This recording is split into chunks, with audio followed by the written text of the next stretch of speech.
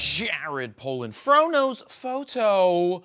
Com, and a question that I get all the time from high school students is should I go to college to become a photographer? Now, this is a huge debate in this day and age, especially when a lot of people don't think you need to go to college to have a career in something you love. Now, the reason I bring this up is because a reader sent in a message, a high school student sent in this email, and I'm going to paraphrase it and read some of it. You can see it on the screen right now. Okay, here it is. Hi, Jared. My name is Allie and I'm a junior in high school. Currently, my life is surrounded around college and my future. Anyways, my parents are very supportive and want me to go to school to do something I am passionate about, and that is photography. I am in, in my school's yearbook as a photographer, and I would love to pursue a career in it. And I was wondering where you went to school or what your journey was after high school so I can gain some perspective from a professional. Thanks. Allie. So, Allie, thank you very much for your question. And I know there's a ton of people out there right now trying to figure out the same exact thing. So, first, I want to give kudos to your parents to um, supporting or for supporting your passion as a photographer and wanting you to do something that you are passionate about. That is that is great.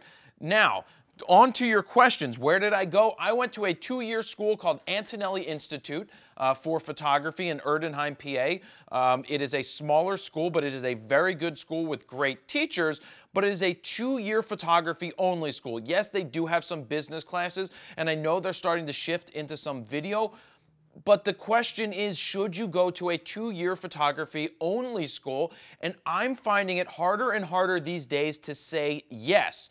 You can learn a lot about photography not only from my website, but from many other places online that would be far less expensive than going to college. Now, what's good about going to a college like Antonelli or a two-year school is that it's straight up photography. You're going to basically be paying to be given assignments that you're going to do. Now, these, these assignments are going to be all over the board to help you get a well-rounded education so that when you do step out into the world as a quote-unquote photographer, you are going to be more ready to take on any job that may come your way. But in all honesty, when I left college, you know, the colleges say that they will place you, or Antonelli has a placement department that's head up by a good friend who does a tremendous job to make sure that he can do his best to make sure that you get to somewhere photo related as a career, but they can't guarantee that.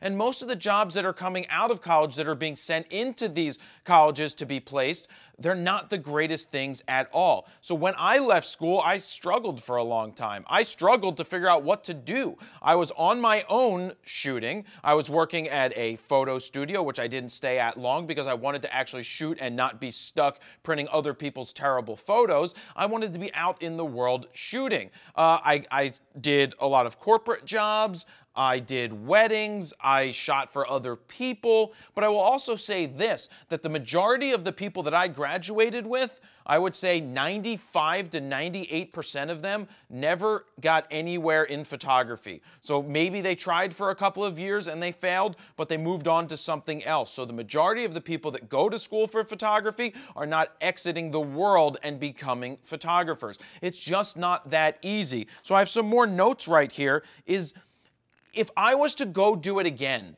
you know, there's that debate. Do you go to a four year school and spend the money, or do you try to venture out on your own and invest in gear?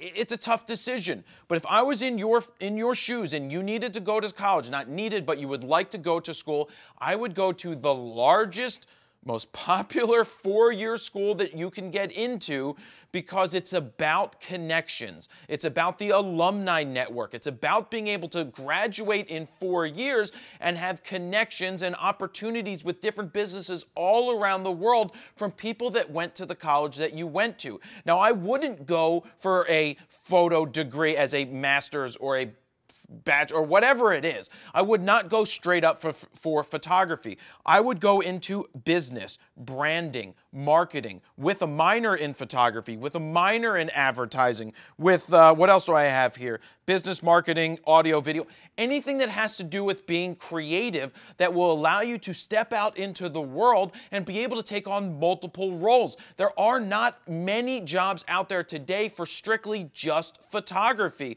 It's not like the old days where you're like, yeah, I'm going to go work for a newspaper. Newspapers aren't paying. That, that's not a viable job as a photographer anymore because you just can't make money. And if anybody tells you that it's not all about money, well, they're probably not making any it is important that you at least make some money that you can sustain yourself. You can always do the passion projects, but if you're looking for a career and you don't want to live in your parents' basement for the rest of your life, you're going to need to find a way to be successful. And that is being a photographer, a videographer, understanding how to edit video, edit photos, understand audio, know a little about a little bit about branding and marketing and business so that you can step into any business out there in the world and be a creative that can bring more than just photography photography to the table. I'll say this about VaynerMedia, Gary Vaynerchuk's company. They put out a job posting a couple years ago that if I wasn't in this business right now, that would have been my job out of college. They were looking for somebody who was a photographer but could,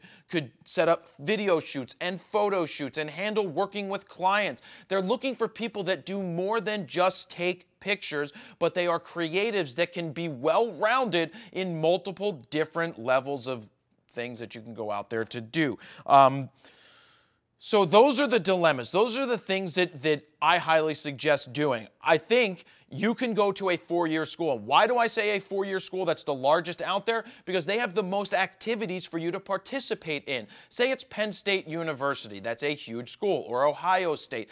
Any of these large schools have athletics departments, huge uh, academic departments, where there's so many different um, uh, extracurricular activities you can participate in. But with the sports, you've got the football teams, the basketball teams, the lacrosse teams, the, the women's volleyball, the swimming, the track and field, the softball and baseball and chess and and and political things. There's so many different opportunities for you to take photographs in a huge school that it doesn't matter if you're into sports, you're into academics, you're into other clubs. There's things that you can go out there and capture and learn. So take the photography classes, but also get involved with anything photo related. Call the president of the school and say you want to do a photo shoot with them. Do a project photographing all of the professors, doing video of the professors, getting their opinions and, and, and capturing that for a project. Just do it. You pay to go to these schools, so use that to your advantage. You ask for things because you're paying the school to allow you to do that stuff, so take advantage of all of that that you have in front of you. That's why I think a big four year school is a great place to go to not only get the education, but to get the alumni. It's all about networking. The people you meet today are the people that are going to help you in business in the future, and all of the alumni associations that have been there for 100 years or more at different schools schools, they're going to help you find jobs and get a jump start somewhere.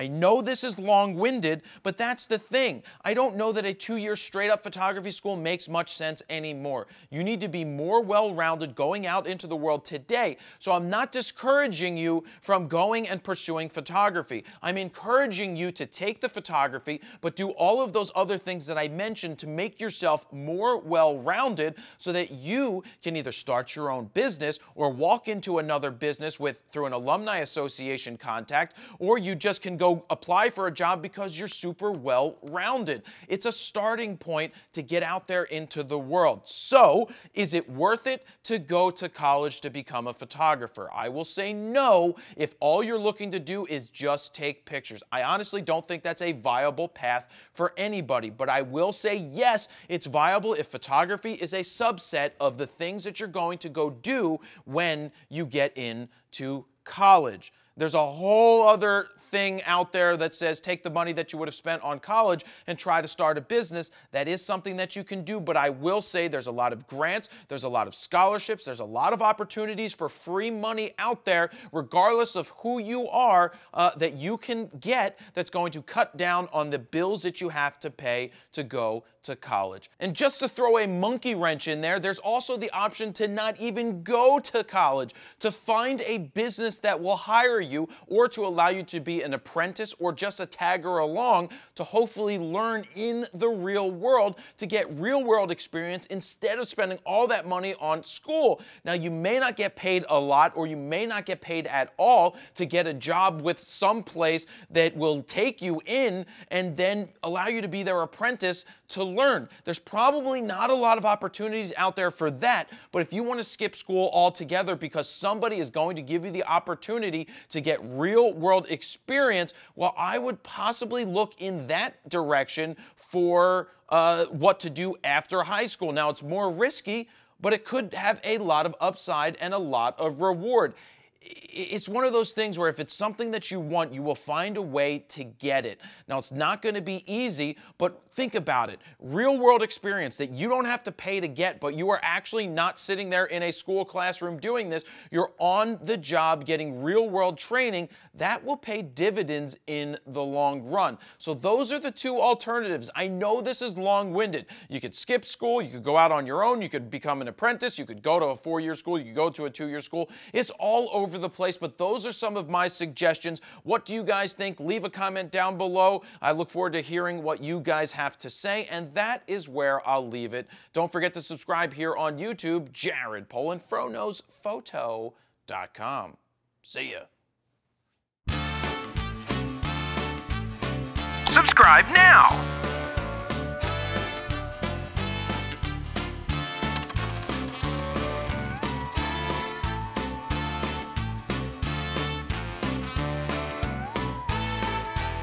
Watch this, watch this video.